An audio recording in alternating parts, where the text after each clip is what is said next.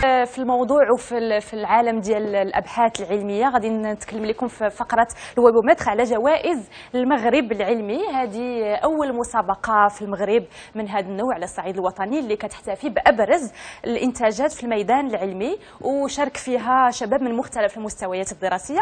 كانت هذا العام أول دورة. هذه المسابقة تم الإعلان على الفائزين نهار 3 5 أبريل وكان بث مباشر على اليوتيوب لهذا الحدث الوطني. تم التصويت على المشاركين بالطبع عبر الانترنت وكانوا ثلاثة ديال الأصناف الصنف الأول أطروحتي في ثلاثة ديال الدقائق هي خاصة بالطلبة الباحثين في سلك الدكتوراه الصنف الثاني أفضل بحث علمي خاص بالباحثين الشباب في ميدان البحث العلمي والتقني وجائزة اليافعين خاصة بتلاميذ الثانوي وتأهلوا طلبة من مختلف الثانويات ديال المغرب. واللي أثرني أثر الانتباه ديالي في هذا الصنف ديال جائزة اليافعين كلشي اللي كانوا متأهلين كانوا بنات.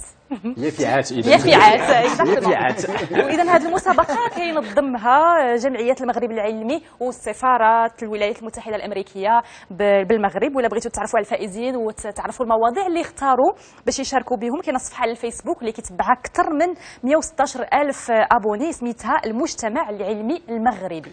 مبادرة جميلة كنحييو كاع الشباب اللي كيهتموا بالعلوم والابتكارات والاختراعات.